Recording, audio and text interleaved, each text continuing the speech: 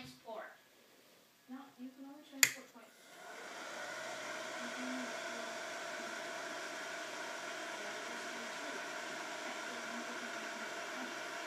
Yeah, but you keep on